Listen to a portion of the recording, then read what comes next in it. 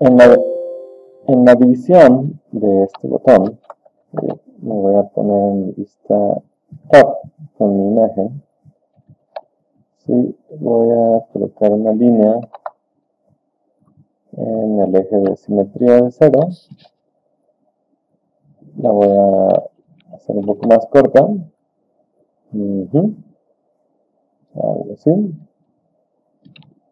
Ah, voy a utilizar mis circunferencias y lo voy a rotar. Rotate en el centro de una de estas circunferencias. ¿Sí? Vamos a rotarla a 45 grados. Ahí está. Voy a hacer un espejo. Ahí está. Voy a hacer un offset hacia ambos lados. Ahí está también el offset. Le voy a poner sólido el offset cap. Flat. Ajá. Y con esto, un, ¿qué más? ¿Qué más? Ponerle un poquito más grande el offset de punto 2.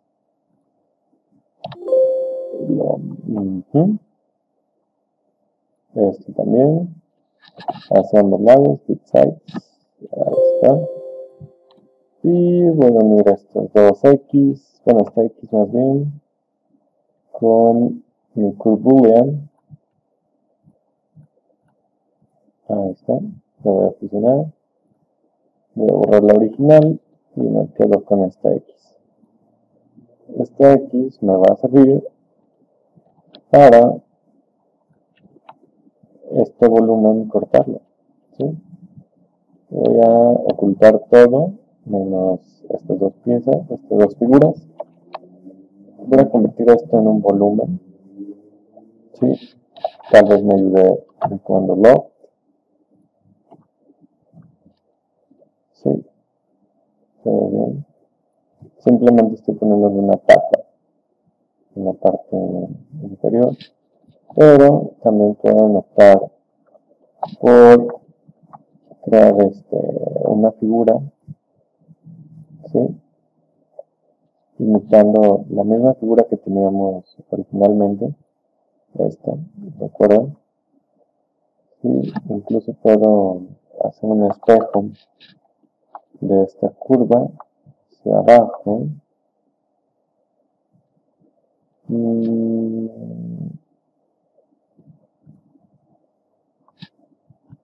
o puedo eh,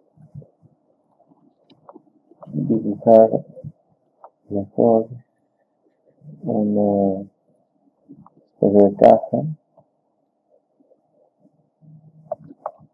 Ahí está sí, esta cajita la voy a hacerle lo mismo que hice con la otra. Sobre, le voy a hacer un sweep de dos rieles. ¿sí? voy a pintar esto esto también también. Sweep de dos rieles. Este es un riel este es otro riel y esta es la figura que va a correr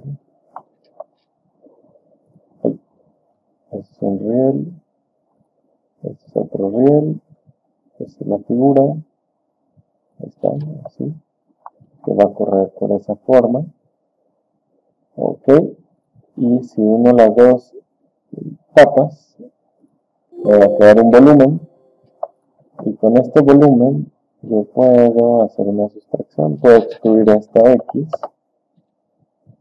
¿sí?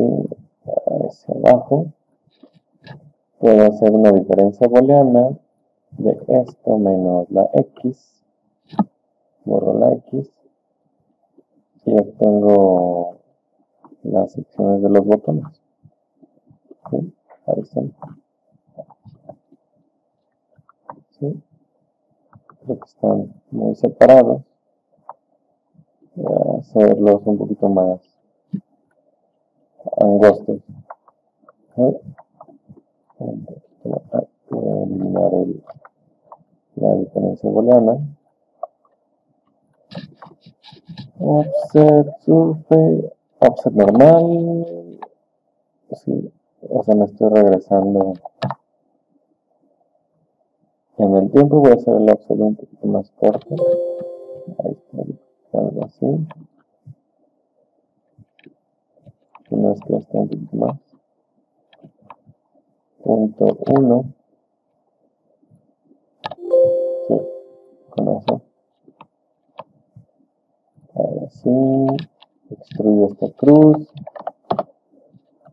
Ahí está. Hago la diferencia booleana de nuevo. Exactamente. Ups, más abajo todavía. Cruza todo. Ahí está así. Diferencia booleana. Y ya tengo los botones divididos. Exactamente así. Muy bien. Ajá, ahí está. Perfecto. En el botón central, que alcanza a ver aquí en la imagen, voy a hacer exactamente lo mismo. Voy a ponerme en esta lateral. ¿sí? Voy a poner en esta frontal. Voy a tomar nada más de referencia a esta imagen y me voy a dar cuenta que es otra protuberancia recta, ¿no? Entonces, yo tengo que encontrar, sí, justamente la mitad de mi objeto. está. Y a partir de esa mitad voy a dibujar ¿sí? otra circunferencia en la vista top. ¿sí? Voy a dibujo top. Voy a hacer otra circunferencia Voy a tomar de referencia las circunferencias que ya tenía. ¿sí? Voy a hacer una copia con Alt y Shift al mismo tiempo. Un poco más chica. Exactamente. Y voy a proyectar, voy a quitar las imágenes, voy a proyectar esta nueva circunferencia sobre la superficie que me queda aquí. Como como pueden ver, sí, la voy a poner en verde para que se note, es un poco más angosta, pero a partir de ahí voy a hacer esa, esa nueva figura, ¿no? Incluso la voy a dejar un poco más grande, sí. no tan chica, algo así. Okay. Luego digo que esté un poco separada. Y, perfecto. Ahora sí, a partir de esta, voy a agarrar esta figura, esta figura y esta figura. Mm, estas dos también. Voy a trabajar con estas figuras. Oculto todo menos eso. Como con mi comando de isolate objects. Tengo la vista lateral. Voy a trazar una curva por puntos de control en el cuadrante donde está esta nueva curva, que es esta circunferencia. Esta verde que se ve ahí es la nueva curva proyectada. Más o menos con imagen frontal voy a darme una idea ¿sí? de qué es lo que tengo que dibujar. Algo muy parecido a esto. Ah, me falta otra circunferencia. Si ya me puedo dar cuenta que me falta otra circunferencia, es esta que está ahí.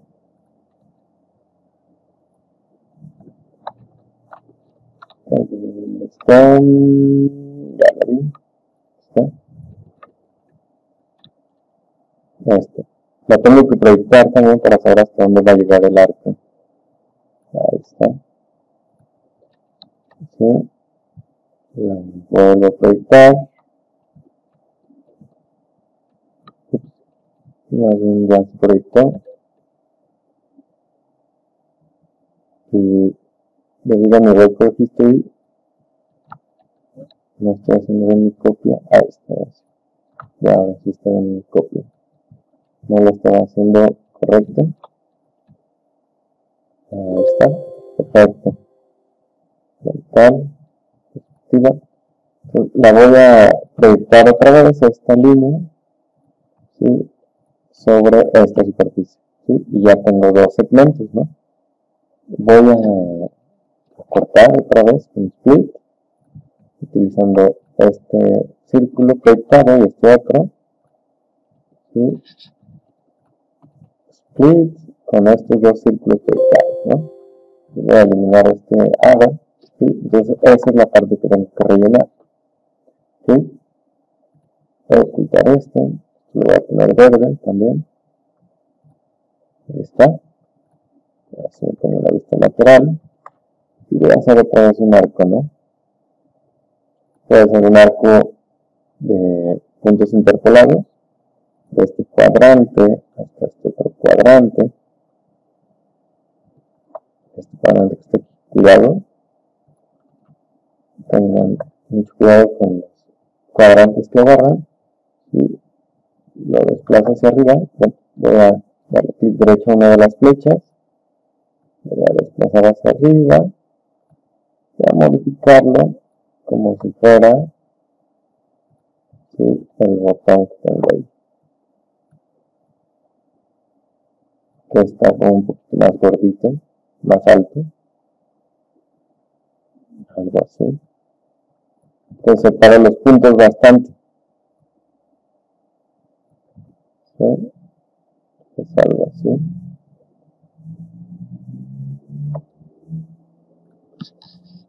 Muy bien. Y voy a hacer lo mismo, un switch de dos rieles. un riel, este es otro riel, y esta es mi figura que va a correr. Y ahí está. Sí, ahí está. Esta parte del medio es una especie de circunferencia. ¿Sí? Les voy a mostrar cómo. No es esta cosa que tengo ahí, en realidad es, voy a hacer una esfera para que observen más menos cómo es la figura. Una esfera de dos puntos. ¿sí? De una parte media a otra parte media. ¿sí? Si observan bien, sí, tiene dos cortes de esferas laterales. Una esfera más grande. ¿sí? La poquito esta esfera todavía más grande, como un segmento nada más de una esfera.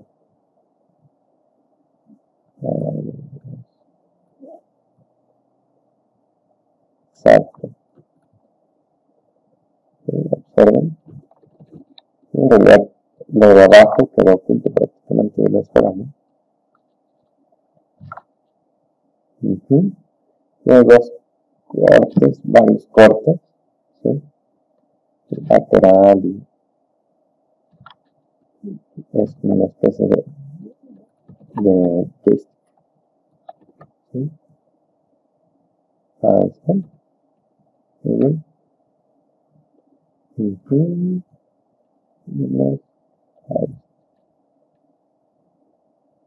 Uh Luego, le voy a cortar viene desde la parte superior. ¿sí? esta sección que tiene aquí. Voy a agarrar un rectángulo a partir del punto medio. Es el rectángulo en mi cero.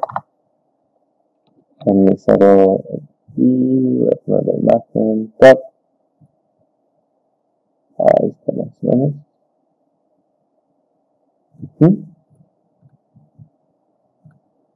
Ahí va a estar la top. ¿Sí? Esta esferita voy a girarla un poco para que no quede esa línea negra que tenía ahí. Esa es mi, mi postura. Y voy a proyectar esto sobre la esfera. ¿sí? Realidad es como si lo fuera a cortar.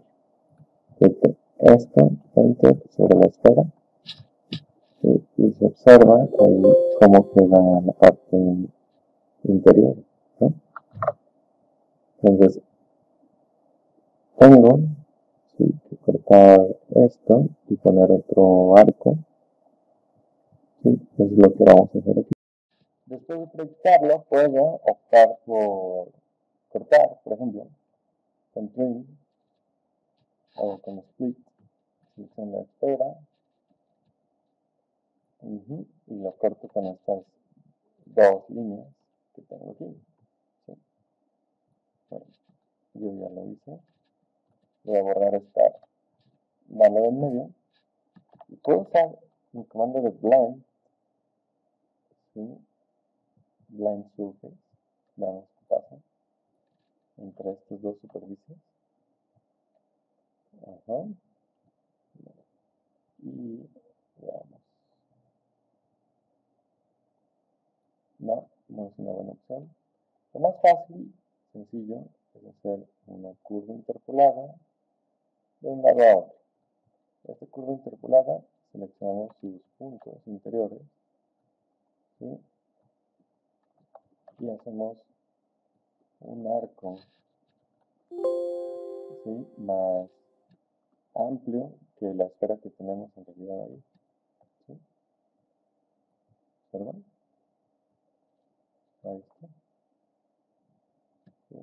Más o menos algo así.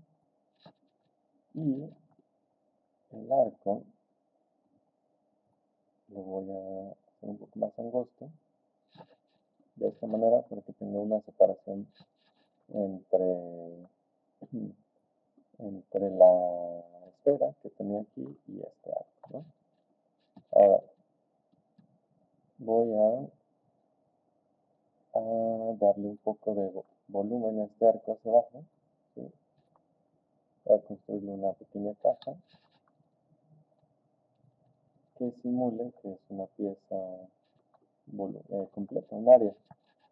Voy a hacer que gire sobre esta orilla, por ejemplo con un sweep de dos rieles, un riel, otro riel y mi figura que va a girar aquí.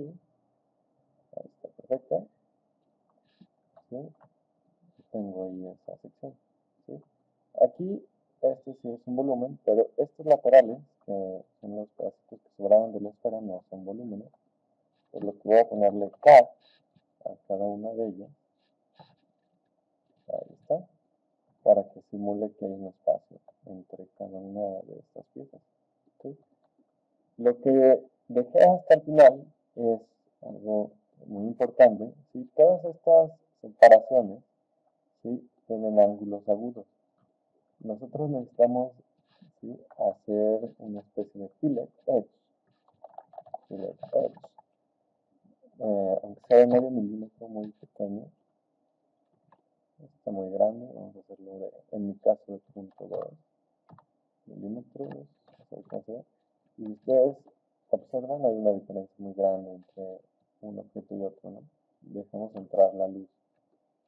Muy grande, vamos a hacer un fillet edge de punto 15 y este fillet edge lo voy a hacer en todas las aristas. Esta arista también. Esta arista también. Y le da más realismo a esta pieza si hay mucho espacio entre una y otra simplemente voy a hacerla un poquito más grande la pieza. Ahí está. Se ve muy bien. Igual a estas partes. La edge. ¿sí? a poner la opción que dice chain edges encadenar orilla con una continuidad de tangencia chain edges para no seleccionar orilla por orilla ¿sí? En el dado caso de que pase algo parecido a esto, es que el radio hay que hacerlo un poco más pequeño. En vez de punto 15, vamos a hacerlo de punto 1. Chain edges. Vamos a ver qué pasa. Sigue siendo muy grande. Voy a aislar esta pieza. Voy a trabajar. ¿sí? Oh, ya sé que puede ser lo que está pasando. Select Edge. Change Edges. ¿sí? Al parecer aquí tengo una arista que está impidiendo que haga el redondeo de toda esta cara. Entonces, esta arista la voy a redondear primero, no sé, como con un punto 3, un radio mayor. Ups, se no se redondea. No sale rojo, es que no se redondea el objeto. aquí está rojo. Voy a poner cambiar el radio, set all, punto 2 mucho mejor. Está muy grande, le voy a poner punto 15. Ahí está. Y de este lado también, punto 15. Entonces todos los ángulos que tenemos con esquinas hay que redondear. Y después ya redondeamos estas otras caras. Vamos a ver si el punto 15 es muy grande. El punto 15 vamos a darle punto 05.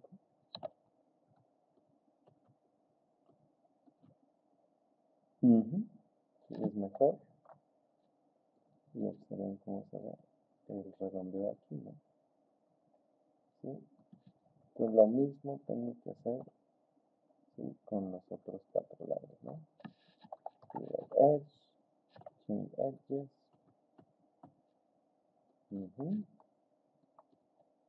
De un radio que tenga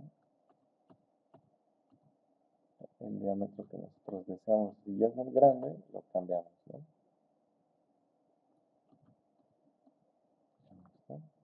Se ve bastante bien. Y después de esto, ¿sí? hay esta pieza que está aquí, obviamente todo esto hay que cortarlo, esto que está aquí. Lo podemos cortar con una simple línea para que no se vea lo que está abajo, ¿no? Una línea a la mitad. Simplemente esté cortando la figura. Ahí está. Voy a extruir esta línea. ¿sí? Hacerle un boolean split. Selecciono mis piezas que les voy a cortar con el boolean split y borro la parte que ya no sirve de abajo. Ahí está perfecto, ¿no? Voy a cambiar mi color de mi pintura a un color no negro, pero oscuro, para que se vea todo mi... Esto también va a ser de ese color. Y ya se ve mucho mejor. se ve mucho mejor junto con la carcasa inferior. Aquí también hay que hacer un fillet en estas secciones donde se une una carcasa con otra. Fillet edge, por ejemplo, una C, tal vez de punto 5. No es muy grande. es muy grande de punto 3.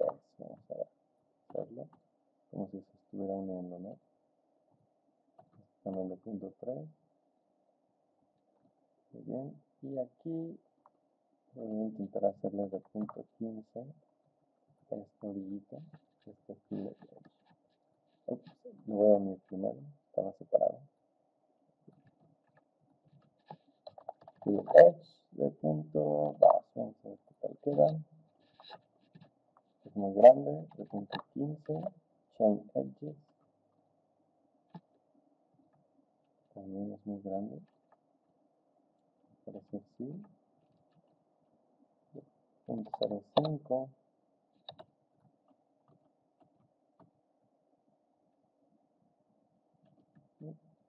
Es muy chiquito, punto 05. Punto 15.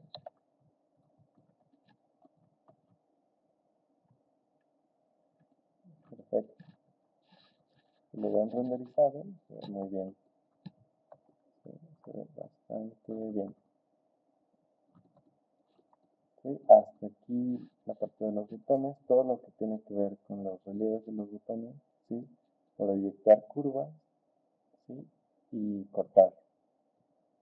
Igual esto, en vez de cortar es extruir. Y solo faltaría la parte del logo.